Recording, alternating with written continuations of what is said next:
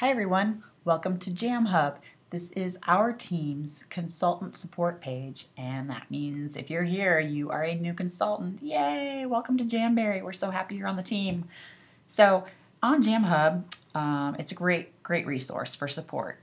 Um, you'll see the tabs here under the banner. There's a discussion tab, uh, just ongoing discussion, training, tips, support. If you have questions, you can place them here. There's always always someone to help answer your questions and add feedback. So it's just a great, great resource. Um, then, of course, there's the members tab. You can see who all the members are in JamHub. Um, events tab, we have um, occasional events where there's training or different things. Photos and files. For a new member, you're going to want to focus on probably photos and files. Uh, files, primarily, there are some great things there.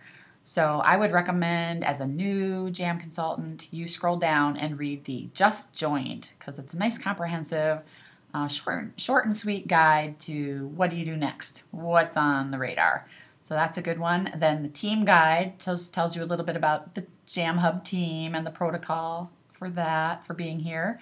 Um, let's see what else. Oh, another great one is the Fast Start coloring page it's a visual, a really nice visual about it breaks it down the two fast start um, goals, and you can start working towards your first fast start right now. Um, it's a great way to jumpstart your business, and you can earn awesome product credits. And then further down the line, you can earn more product credits and cash incentives. It's just a great program. And let's see, there was one other. I mean, I'll go on and talk about this later, but Buffer. It's a pre-scheduling um, software, well, not software, it's a website, and you can join up on Buffer. It's a great way to pre schedule your Facebook party posts so they feed out. Uh, I work full time, so I use Buffer. You can pre schedule your posts a day in advance, or you can schedule out your whole party, and your posts will just feed out. Um, leaving you a little bit more flexibility, and you can just check back and comment throughout the day on the posts that are already feeding out. So that's a little bit about JamHub. Um, oh, and here's a neat little thing the search, this group field here, um, right under the banner on the right.